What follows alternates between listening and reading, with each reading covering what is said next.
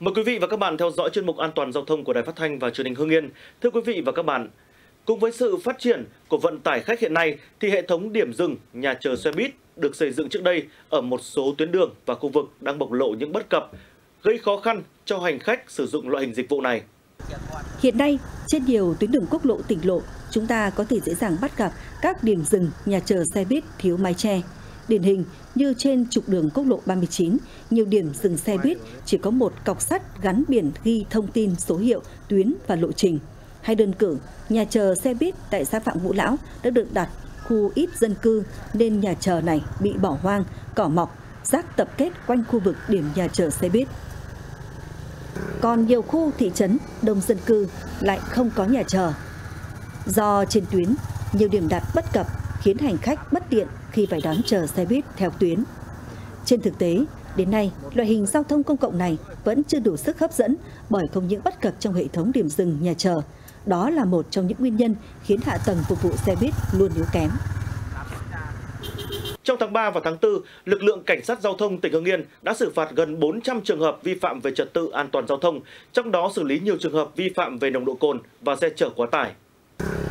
Tổng số tiền phạt đối với 400 trường hợp vi phạm gần 3 tỷ đồng, trong đó có 170 trường hợp người điều khiển phương tiện có nồng độ cồn, 50 trường hợp xe quá tải trọng bị xử phạt trên 1 tỷ đồng. Song song với việc xử lý vi phạm trật tự an toàn giao thông, các lực lượng chức năng đã tăng cường tuần tra đảm bảo giao thông trên tuyến, tạo thuận lợi cho nhân dân đi lại, đặc biệt là trong những ngày nghỉ lễ.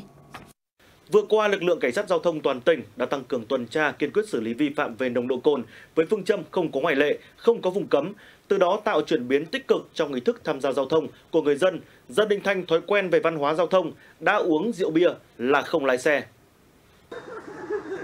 Anh Khánh có bạn ở Hà Nội về chơi, lo lắng khi bạn lái xe ô tô đường dài. Thay vì anh em tổ chức giao lưu uống bia rượu như thường lệ, anh chọn cách đưa bạn đi ăn đồ nhẹ và không sử dụng chất có cồn để đảm bảo an toàn cũng như chấp hành luật khi tham gia giao thông.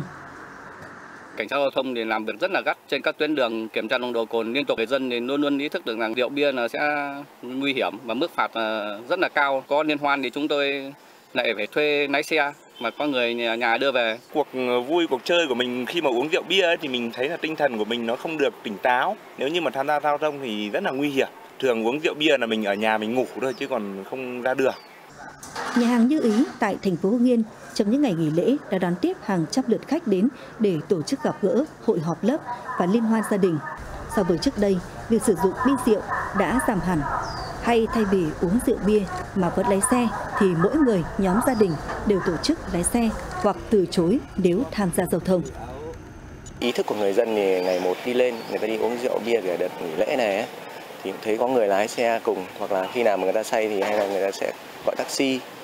Trong 5 ngày nghỉ lễ vừa qua, lực lượng cảnh sát giao thông trên địa bàn tỉnh đã bám chặt cơ sở, mở đợt cao điểm kiểm tra nồng độ cồn với tinh thần quyết liệt theo đúng chỉ thị số 10 của Thủ tướng Chính phủ về việc tăng cường công tác đảm bảo trật tự an toàn giao thông đường bộ trong tình hình mới, không có ngoại lệ, không có vùng cấm, tuyệt đối thượng tôn pháp luật, đặc biệt xử lý nghiêm đối với cán bộ công chức viên chức người lao động tại các cơ quan nhà nước. Kết quả đã xử lý 143 trường hợp vi phạm về nồng độ cồn, phạt tiền gần 720 triệu đồng, tăng 121 trường hợp so với kỳ nghỉ lễ năm ngoái.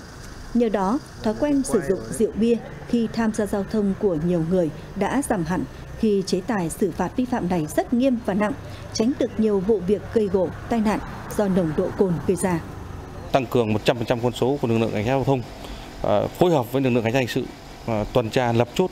xử lý các trường hợp liên quan đến sử dụng rượu bia, đặc biệt là lập các cái chốt ở khu vực mà tập trung nhiều nhà hàng quán ăn à, cũng như là, là khu vui chơi mà tập trung thanh thiếu niên có biểu hiện sau khi sử dụng rượu bia. Việc kiên quyết kiểm tra xử lý nghiêm các hành vi vi phạm về nồng độ cồn với người điều khiển phương tiện giao thông không những giảm thiểu tai nạn giao thông mà còn góp phần xây dựng văn hóa giao thông an toàn lành mạnh cho cộng đồng xã hội.